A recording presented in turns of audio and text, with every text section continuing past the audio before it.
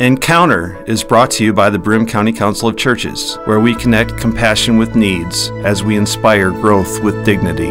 You'll find us in special places throughout the community.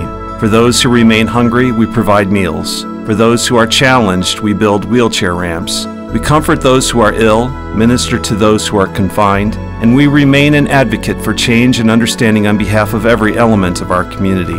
Connect and inspire. Encounter the Broome County Council of Churches. Good morning. I'm Jeff Kellam. Welcome to Encounter. A few weeks ago, Sue Spencer was our guest. Sue is the Faith in Action Volunteers Coordinator for the Broome County Council of Churches. And at the end of that program, as we were walking off set, I said, you know, I'm always looking for ideas for, for programs and people to meet and to interview. She said, well, do you know about this warm line? And I've heard about hotlines. I've been doing hotline PSAs for years, but uh, a warm line, no, what is it and what's it for? So she connected me with Kim Taro. and Kim is with the Sunrise Wellness Center. Yes. And uh, you operate a warm line. And we'll get into the warm line concept in just a minute. But first, tell me a little bit about Sunrise. Oh, the Sunrise Wellness Center. Um, the Sunrise Wellness Center, it's a program, one of the programs of the Mental Health Association. It's a peer-run program. Um, what that means is that all of the staff that um, are employed in the center, yeah. we all have our own lived experience, um, meaning that, you know, we might have, we, we've all had mental health challenges and um, faced them and um, received help, maybe overcome them. And So what it is, it's peers working with peers and providing so support to individuals. Right. And um, we do a, a, lot of different things at the Wellness Center, but one of the, I think the most important thing is that we provide hope to folks um, that walk through the door. Yeah. And it's open to anyone in the community. A lot of the people that we serve do have a mental health diagnosis, but, and you know they may be taking medication and seeing a psychiatrist or a doctor, but they're also looking for other alternatives. Um, so we offer different alternatives that just enhance the programs that they, or the services that they already have in place. And, and part of the, the value of that is being in a, having a sense of community, being together. Oh, yes. Realizing you're not alone. Mm -hmm. Absolutely. Um, one of our goals is to keep people out of the hospital. So it's like a hospital diversion program. It's um, very, you know, self-directed. So we do have people that just walk in the door. We also have folks that are referred by their um, therapists, counselors. Um, and it is, it's a sense of community. We actually, in, we help people integrate back into the community. Um, we address the social inclusion. For a lot of people, um, isolation, it's huge. Mm -hmm you know, I know from my own experience that there are times when, and have been times in the past when I was so depressed and just, I didn't want to, I didn't want to leave my house. So we, um, this is, we encourage people to get involved. Um, we, we actually do things out in the community as a group. Yeah. We help people, we connect them, help them connect with their passion. Yeah. You know, what, what, what are you passionate about? What gets you up in the morning? Some folks, they might not even, they, they, they might not remember or, you know, it's been such a long time. So, so we, um, we, um, oh, I'm trying to think of the word. I've well, explore different paths, yeah, help you, them explore different paths. You reconnect folks with a passion perhaps that they had at one time in their lives, and then Absolutely. that passion was enshadowed by some mental health issues. Yes, yes. And then they lost track of it. Yes. So one of the things you're doing is to help people think there is a reason to get up in the morning. There is. And there's a reason to leave the house. Yeah. And the first step might be to come to the wellness center. Mm -hmm and to, to realize that they are not by themselves, but are with other people who've experienced not the same things, but similar things. And that's that's it's very empowering. Um, I've you know we've had numerous success stories, um, but we do a lot of education at the wellness center. Uh, we do a lot of education at our agency as a whole, um, but a lot of education. Um, we focus a lot on well, it, we take a holistic approach. Yeah. You know, we look at the, you know, the whole body, not just, you know, the mind. So we, we do education on nutrition, um, boundaries. Um, we do a lot with creative expression.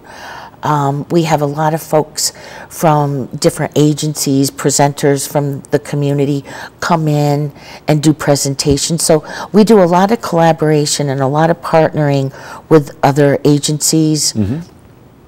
So, Well, so, and and the, uh, it- this is all part of the Mental Health Association of the Southern Tier, one of its many programs. yes.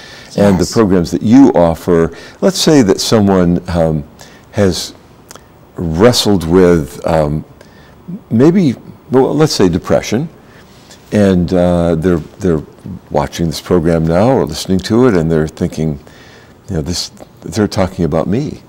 So when they make their way to Court Street, um, I have the, what is the One, address? 153 Court Street. So they make their way to Court Street um, and, and they walk in the door. Are they going to have to give you their life history? Are they going to have to connect with their doctors? They just walk in and, They just walk in and they're going to be greeted by um, our administrative assistant, our receptionist. Um, they, they're going to, they're, it's, we're very welcoming and we are very engaging with individuals. But we meet people where they're at, and that is so important um, you know, they tell us, they disclose as much information to us as they want to. And I have to tell you, because of the stigma around mental illness, sometimes it's very difficult for folks to walk through that door. yeah. Um, so oftentimes we will meet individuals out in the community and make that first connection um, because that that making that connection is that can make or break sometimes you know? And so for like i said sometimes it's just very difficult for people to come through the door. So oftentimes they'll call us on the warm line Right. and to make the connection. It, they feel a little bit safer. Let's talk about the warm line. okay. Uh, we know a hotline is something you call in, in a time of emergency, um, when there's uh, an experience going on that you can't deal with, so you have that hotline phone number there. Um, but yours is a warm line. It's not really for emergencies. It's just for when it's needed. It's just there. It is. It's it's there for support. Yeah. It's also there for um, information, um, referrals, um, just some uh, a number to call if somebody just needs to talk, just needs to chat, And needs some support. The peer support line, I like warm line better, but that, the peer support line is 607 240 7291.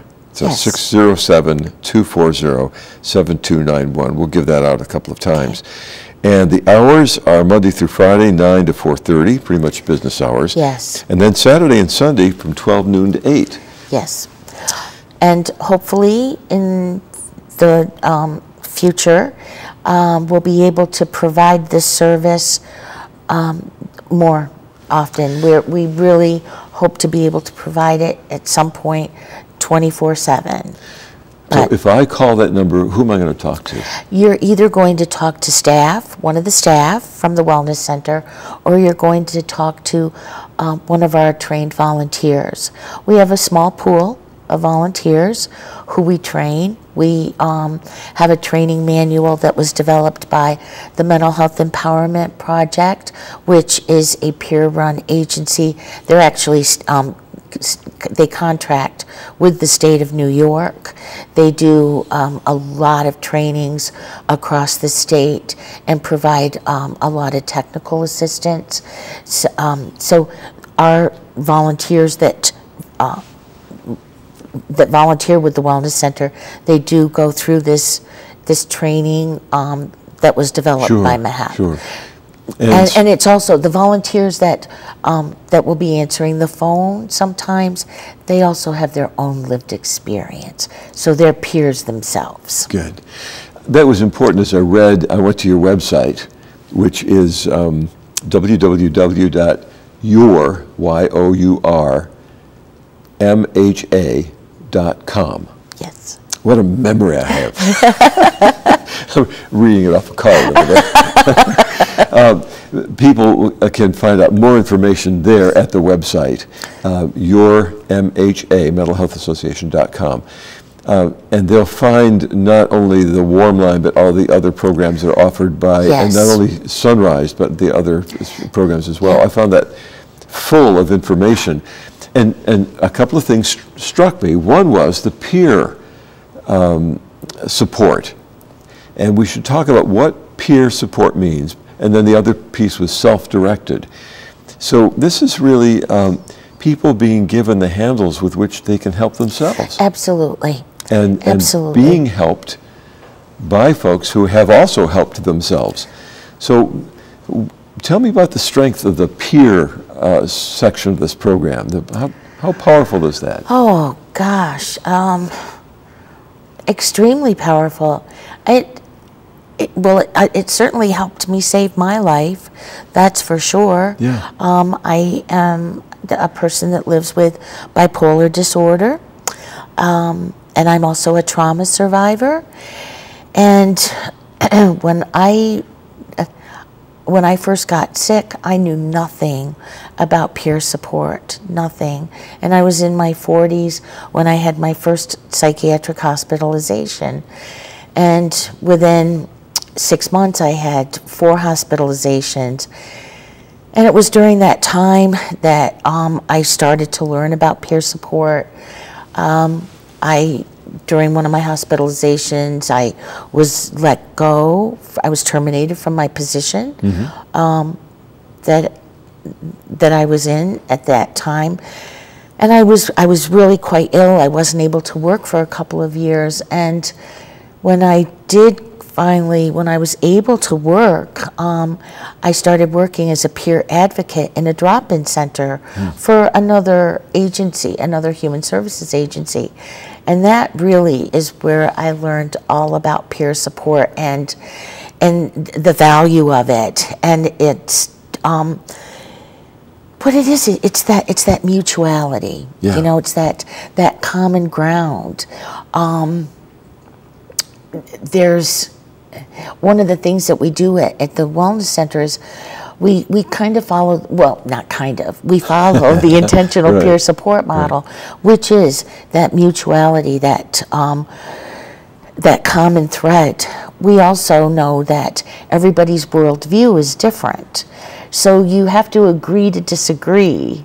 And when you're working one on one with individuals, as I said before, you have to you you meet people where they're at, and you have to remember that not everyone is at the same level that you're at, but you're going to help them, and you're going to provide support to them, and and it, it's very non-linear. Everybody's recovery is different. Sure. But recovery is possible.